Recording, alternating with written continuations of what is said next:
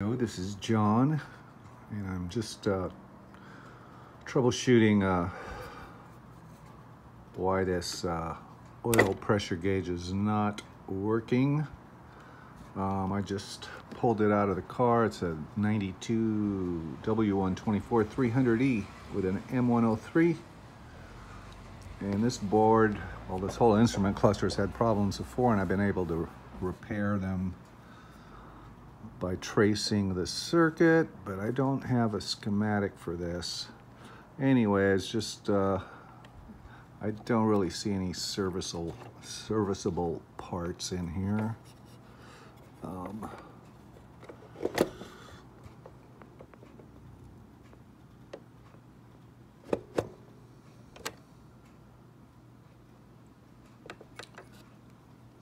I'm looking to see if I can see any burnt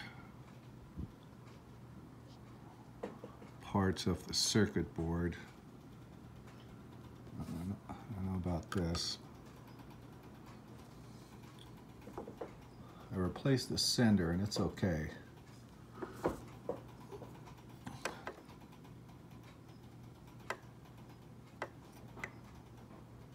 And this needle will move if I disconnect the uh, wire to the oil sender on the engine. At least the manual says to disconnect that wire at the sender, put the ignition to two, and the needle should go up to three, and it does.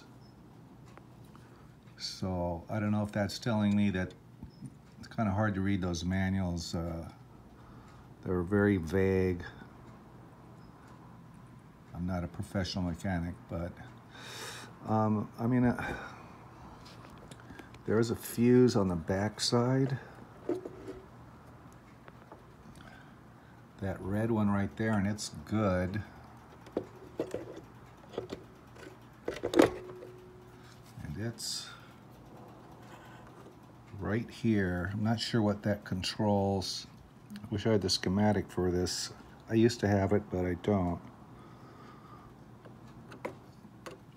Everything else works in here. So I'm sure the fuse is, you know, I, I, it's, I don't think it's related to the fuse. Um, I did have some issues, I think, on this, this board right here for the center console lighting wasn't working.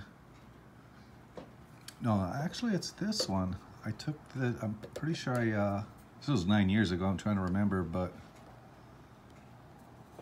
there was a burnt part of this board. I could see it with a magnifying glass. And so I made a jumper from this connection over to this one here using the uh, schematic. And that restored the lights, the interior lights, uh, center console, I think footwell, I forget. It was a bunch of different lights. Um, but that fixed that problem. So now just work trying to figure out this one. So anyways, I'm gonna keep working on it and probably go and uh, test the uh, the wire from the sender to the instrument cluster, just a negative negative wire.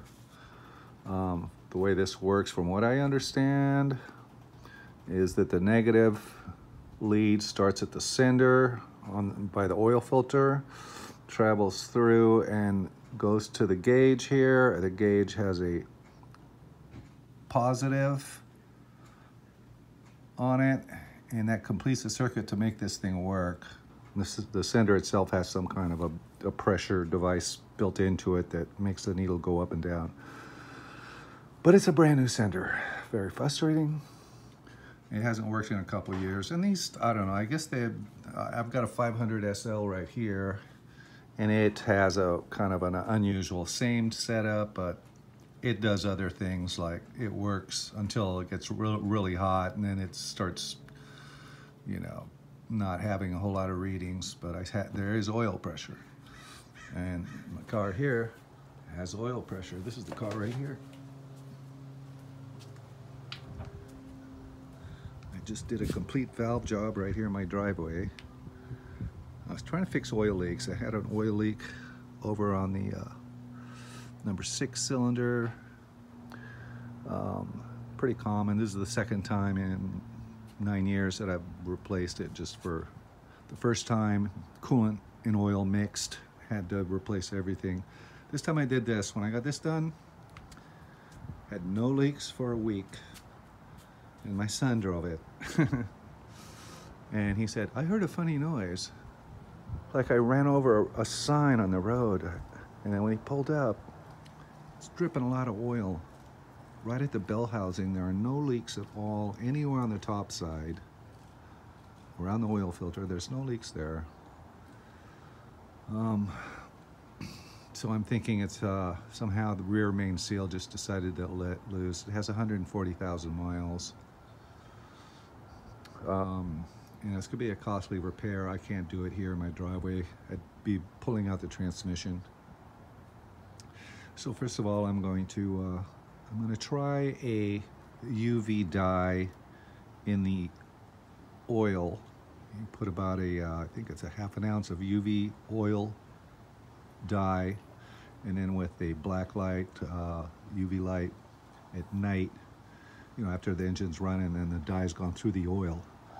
And you go under there and look, and it'll show you where all the leaks are, but I'm going to do that to confirm that it's the main seal.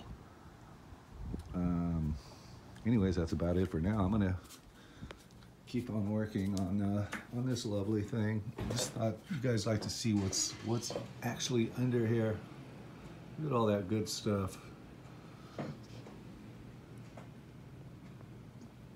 Old technology, huh? I should probably test. Some of these bulbs are kind of dim in the car. I should test for that. Um, other than that, um, I guess there, are, there is, I, I, believe there's one of these lights that will light if there's like no, you know, no oil in the car type thing, you know. It'll warn you. This is just the pressure, but there, I think there is an oil light, one of these here. But I'd like to have this fixed due to this uh, rear main seal and it leaks quite a bit of oil. Um, but I would like to have some kind of pressure or something, something. So when my son drives it, that's the car he drives to, he drives to work. Anyways, that's about it, John, and I am out.